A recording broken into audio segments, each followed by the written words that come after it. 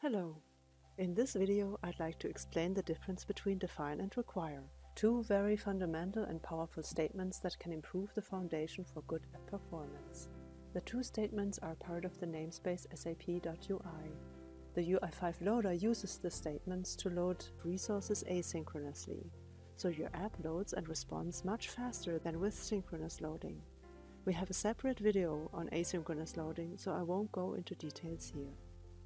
The main difference between the statements is that define is used to define a module, such as controllers, whereas require is used to load only other modules. Now let's take a look at an example in my prepared master detail standalone app created from the master detail template in SAP Web IDE. What do you think we'll find in the app.controller.js file? If your answer is the define statement, you're absolutely right. You can see it at the very top of the file. This position is important because you want to define the module and load the module dependencies in the brackets after the statements as early as possible. This will ensure that the code returns the specified values when they are called in the following code. The require statement is located in the index.html file. It is not in the topmost position because the require statement is much more focused on a certain purpose than the define statement.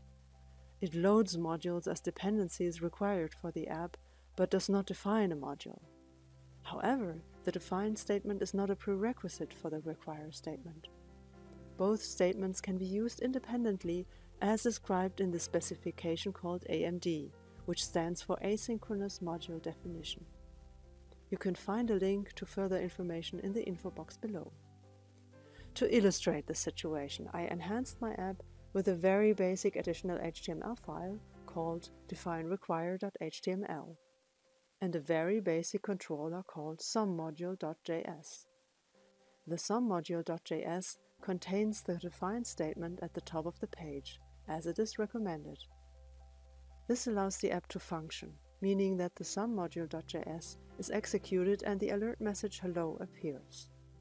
If I now exchange the define statement with the require statement, I can see in the network trace that yes, the somemodule.js is loaded, but I get an error in the console and the alert message hello is not appearing either.